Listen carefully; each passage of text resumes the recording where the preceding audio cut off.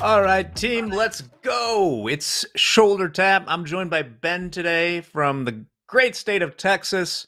Ben, what's happening? God bless Texas, Jack. Um, it's a it's a good day. It's a good day. I'm looking forward to uh, to this segment. Um, I've got a, a, really fantastic trading card. I've been looking forward to uh, talking with you about. So we'll we'll definitely uh, spend some time there. But overall, it's been a good Thursday, and uh, you know live traders are looking good. So um, yeah, we can jump right in. Um, I heard actually uh, before we do, I was listening to um, to some of Fast Markets earlier, and um, you know the the cat out of the bag that you know we've got a bunch of people on TV taking the Series Three. No one was bold enough to uh, disclose their test date earlier. I'll I'll be the one to uh, to share. I'm taking mine on August 27th. So August 27th, uh, we'll have the test results back, and uh, working hard to not fail. I'm a little nervous about the test, but uh, I've been been grinding it out uh, outside of work to, to, make sure I'm so ready for it. Let it be known, Ben has thrown down the gauntlet. If he is not here on August 28th, uh, he's at the bottom of a bottle in some Texas roadhouse talking about uh, what a racket it is. But uh, I don't think that's going to happen. I think Ben's going to pass. Um, how are our funded traders doing on this day that until the last half hour or so was up, up, and away? Yeah, pretty strong uh, trend day, and that's going to be a theme that we're we're talking about. Any given day, we've got always got traders that you know are red and are green. Um, you know, it's overall a pretty green day for uh, for the live traders, which is good to see. Um, a couple people to to shout out in particular. Um, we've got uh, Tanya trades up 2,200 bucks. Um, really nice to see her take a, a big profitable day. Um, Alexis J is up uh, $4,700. Uh, her very first day in the live account up 4,700. So um, really great way to start. I know the day's still, the session's still open, so make sure you're uh, walking away with those profits, Alexis. Uh, Karina also, she's someone we're going to talk about in the trading cards. Um, best day in her live account thus far today. So um, another really excellent performance. She's up 5,400. Um, Kang L is up 7,500. Uh, live account. Uh, Dillian is up 2,500. And Pin Sin, uh, pretty quiet morning, but all of a sudden up six grand in uh, Pin Sin's live account. So um, lots of good numbers. Definitely saw some red. And that's um, something I've seen that feedback a lot and something that, you know, I am try to be conscious of. You know, we celebrate uh, big trades, big traders, big P&Ls, big payouts, you know, day in and day out. If you're someone that, you know, is struggling trading, don't get FOMO, don't get discouraged by some of the statistics and big numbers that you're seeing on TV. Uh, the only person you're competing with is is yourself, you know, who you were yesterday.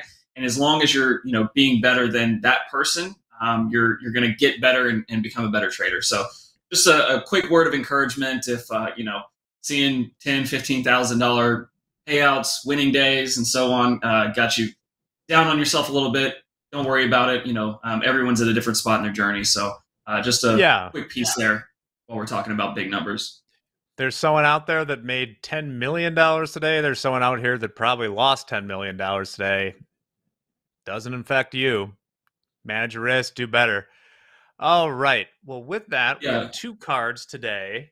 You want to start? Do. Uh, I actually, yeah, yeah. Just before we do, uh, Mick had talked about a trader that we have, John G, yesterday. I believe it was his second trading card. You're welcome. Anyone's welcome to go back and watch that uh, shoulder tap segment from yesterday. But a quick piece about John G. I was looking at his trading card. Um, he's very selective about days that he's willing to trade as well. He goes um, sometimes several days in a row without trading. That's something that I've uh, expressed a lot of admiration for on this program. Just want to reiterate that. You know, it's it's really important. I think today's a great highlight as well.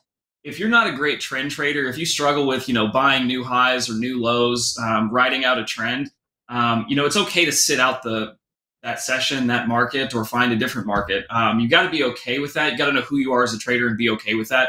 John G does an excellent job of that. Um, he goes several days without trading, um, and I, am sure that that's a large contributor to his success. He doesn't just show up to the desk every day and uh, and put on trades. So uh, shout out to John. And one one quick thing, I was listening to a, a really great um, podcast uh, by someone that I've got a lot of admiration for as a great trend trader as well. Uh, Ripster on Twitter, if you're uh, familiar with Ripster, he said um, your system shouldn't just help you make money; it should help you preserve money. So I want everybody to keep that in mind, that quote in mind, as we talk about Karina, who's our uh, first trading card today. This is the one uh, that I'm excited for, Jack. So Karina has. Um, let's take a look. Before shown, we start, I just want to announce that everyone, saw it in chat come up, but in two minutes, Harker speaking. So a little Fed speak coming your way. So just be careful. And now let's get to the main event. We got Karina from Suffolk in the United gotta Kingdom. Watch gotta watch those Fed speakers. They pop up like uh, prairie dogs out of nowhere. Um, yeah, yeah. Karina, Karina's our our uh, live trader, first trading card of the day. Um, trading in a 50k live account with us from um, United Kingdom, uh, and lots of really really awesome uh, pieces to take out of this trading card and out of the trade reports um, for Karina. Trading gold uh, exclusively, so gold and and uh, the e mini gold and, and micro gold contract.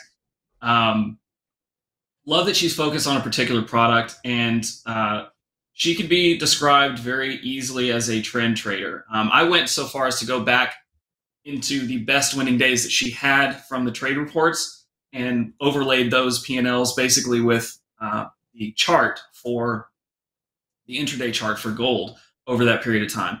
Um, she does best when gold has a nice strong trend intraday. Um, so mm-hmm. she's able to get on the right side of the market, get on the ride of that trend, and sit in it for you know as long as possible and make as much as possible. Um, she's also relatively good at adding to strong positions, um, adding as it's going in her favor, and that's reflected in the average uh, duration per trade. So uh, she's got an average hold time of an hour, um, an hour and two minutes for the winners, and only 12 minutes um, for the losers. So um, you know, there was one day in particular I looked at the fills um, that she had gotten. You know, she was actually short a couple of times uh, in gold.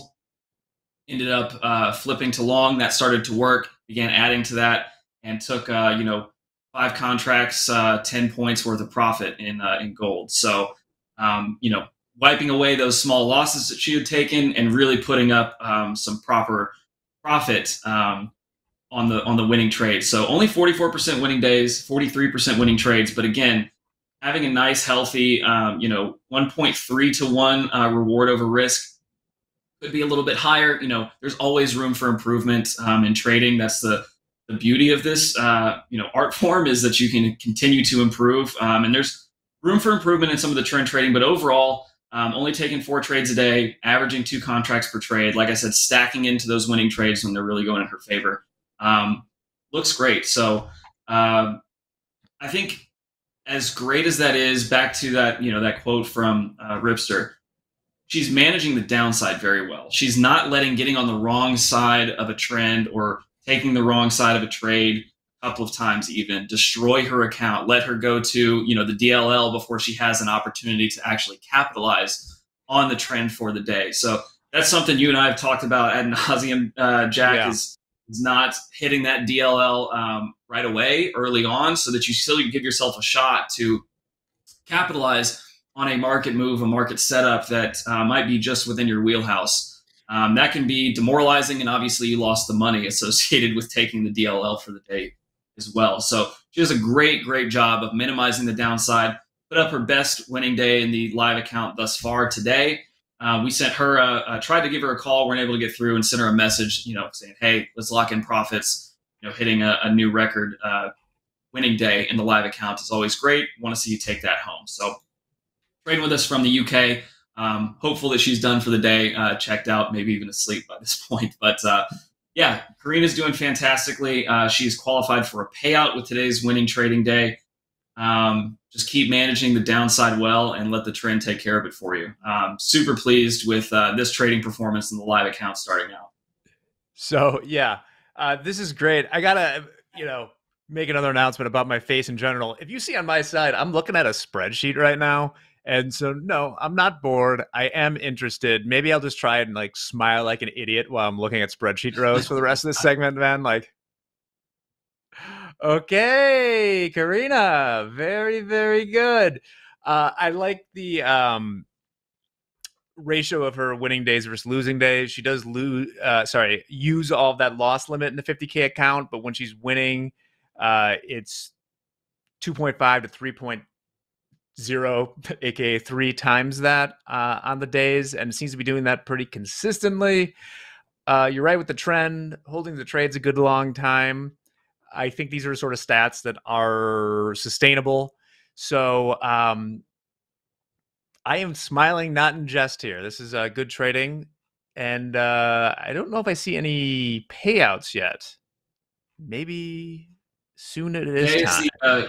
Today, as long as uh, she keeps profits on the day greater than $200, today is the uh, winning day that she needs to then qualify for a payout. So um, she just got there, uh, only traded in the account for a total of nine days, um, 10 if you include today. So, um, you know, and, and, again, room for improvement. She's uh, taken the daily loss limit a few days that were her losing days. Um, so, you know, it's it's not as though she uh, is a perfect trader. No such thing exists. But what we want to see is, you know, maximizing your profit potential when you're right, um, and minimizing, most importantly, minimizing that downside when you are wrong, so that you can continue to not not just trade for the day, but stay in the account for uh, weeks and months, and and truly take multiple payouts and and really profit from this incredible opportunity that trading uh, trading prop gives you. So.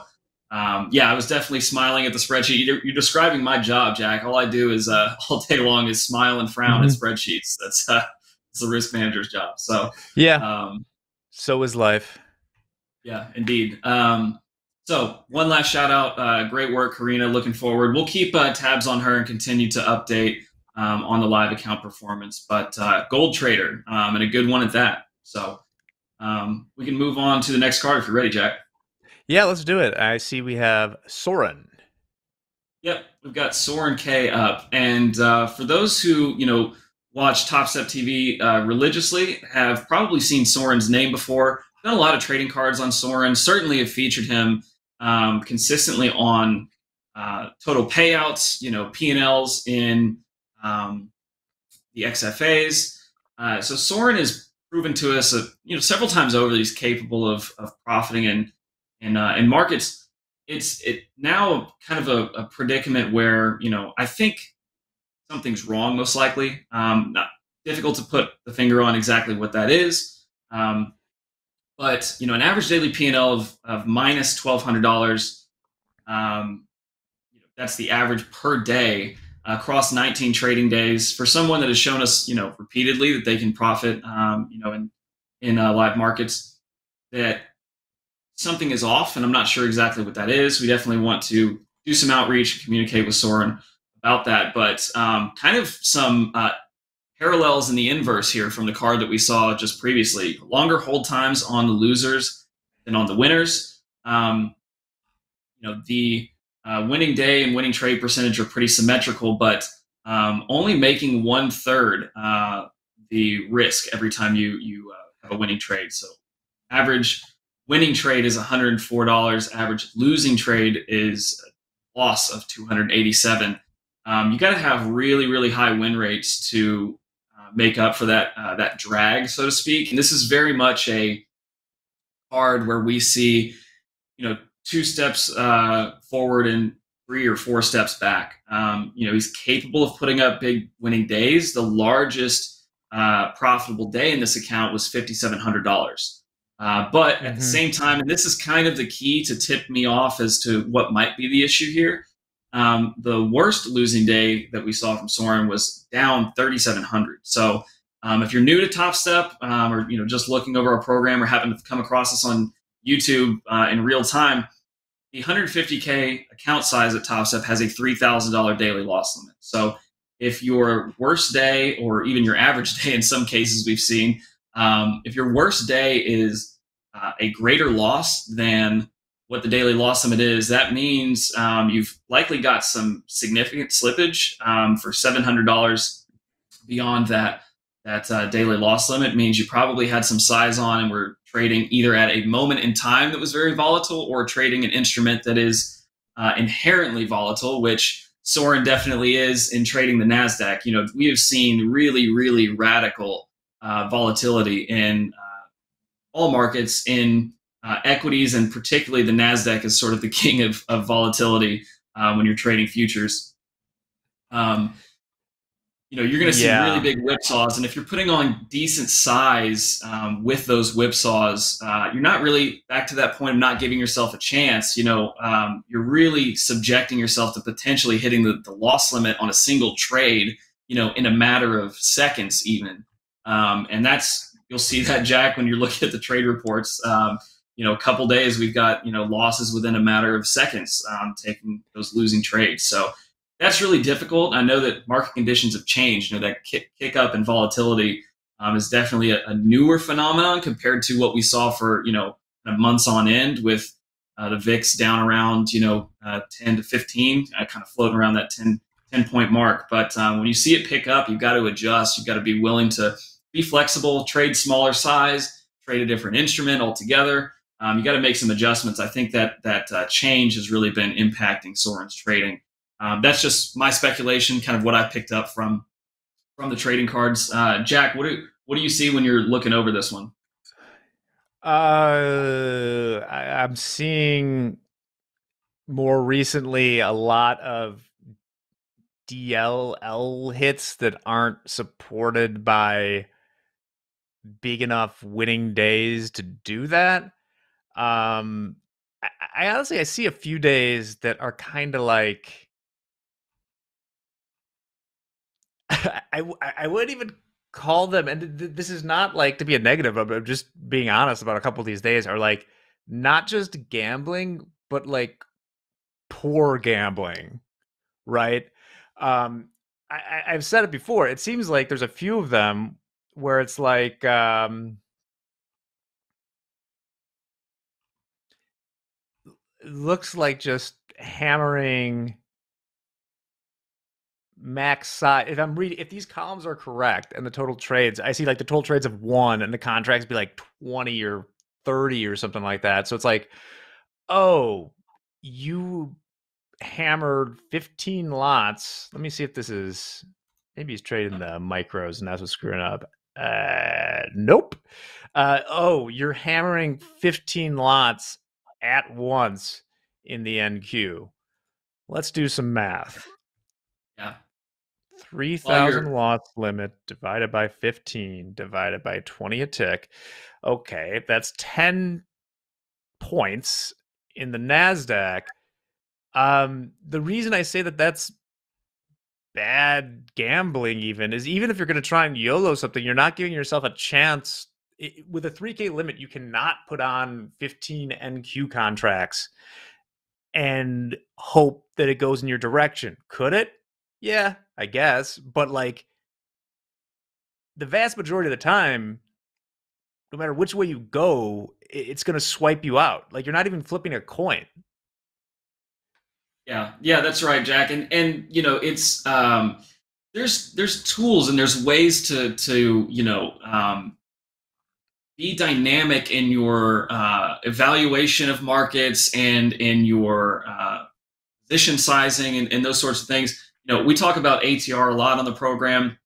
That's something I've heard uh, Coach Dakota, Coach Jay talk about. You know, they're, they're even looking at what a what a one minute uh, candle ATR is. You know, and if the you know high high volatility, you can see a one minute candle ATR like 30, 40, 50 points. You know, that's not unreasonable to see in the Nasdaq. And so you're saying that you know you're putting on a 15 lot. Um, you could in a matter of you know, truly in seconds, and that's what we're seeing from the trade report, uh, get stopped out of that trade, even if you're right on the direction, you know, over a five minute period of time or 10 or 15. So, um, you know, sizing down is that's that's what you see at the bottom of the card.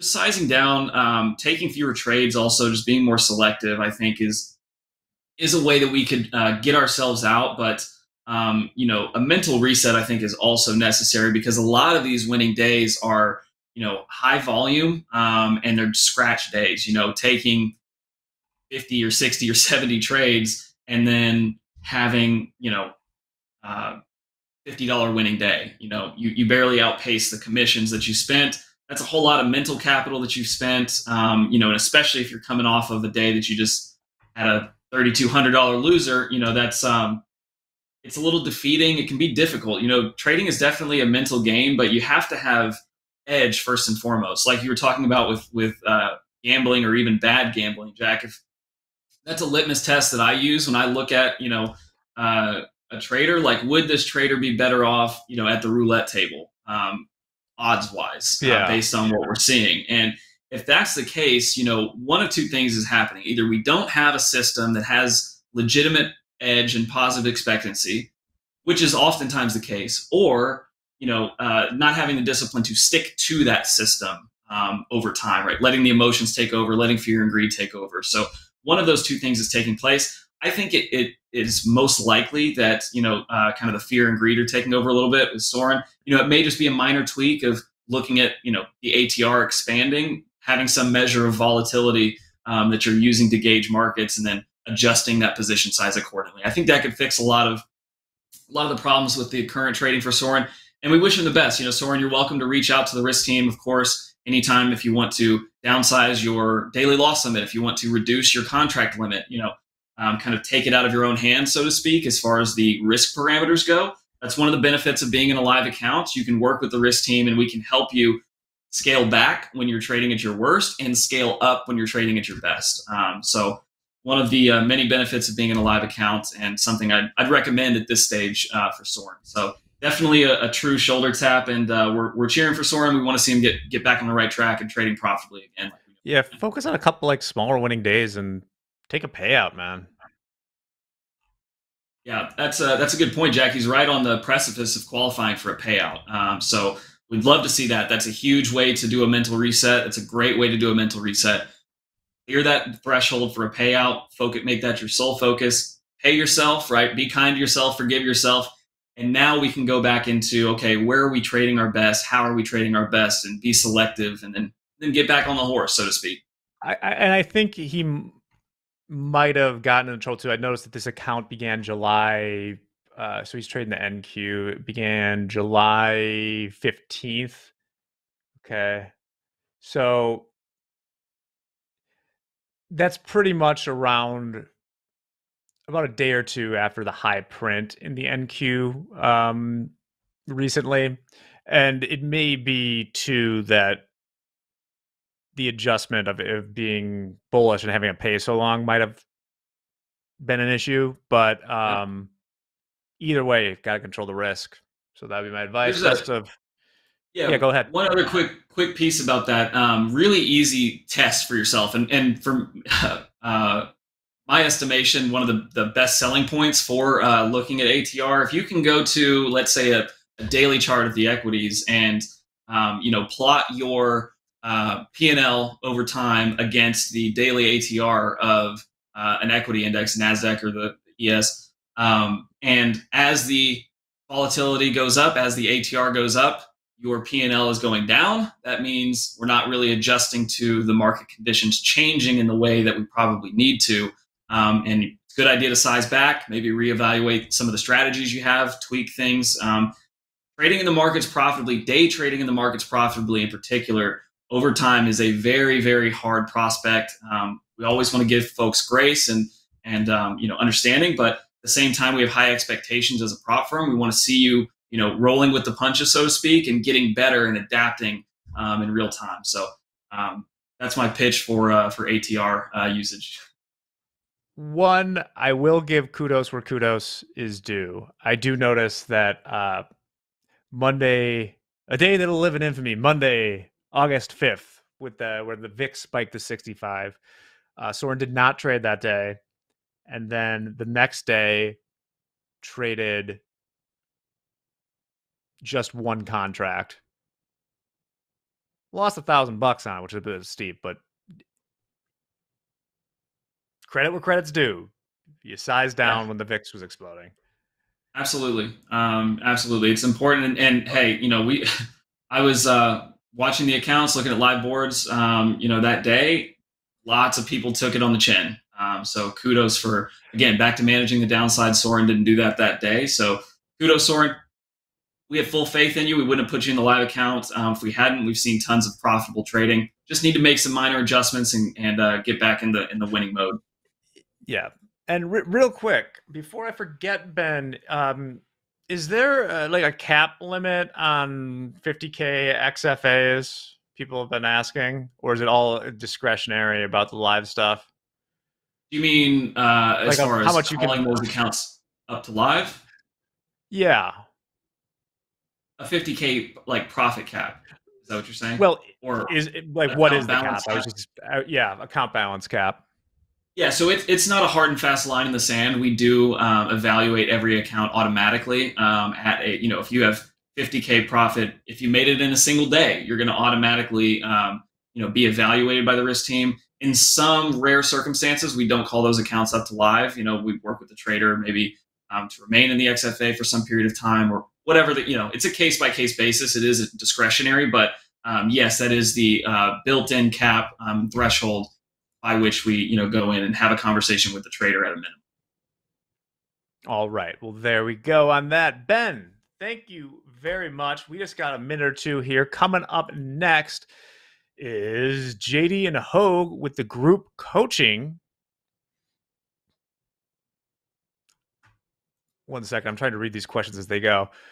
We can ask it. We'll get like we'll answer that some other time. But yeah, you can make a I think 50k in a day. You can make as much as you want in the live account. Um, I don't know. We'll we'll dive into it tomorrow because I don't know if I have individual time now. All right, Ben. Thank you. Enjoy the rest of your day. We'll be back right after this with JD and Ho.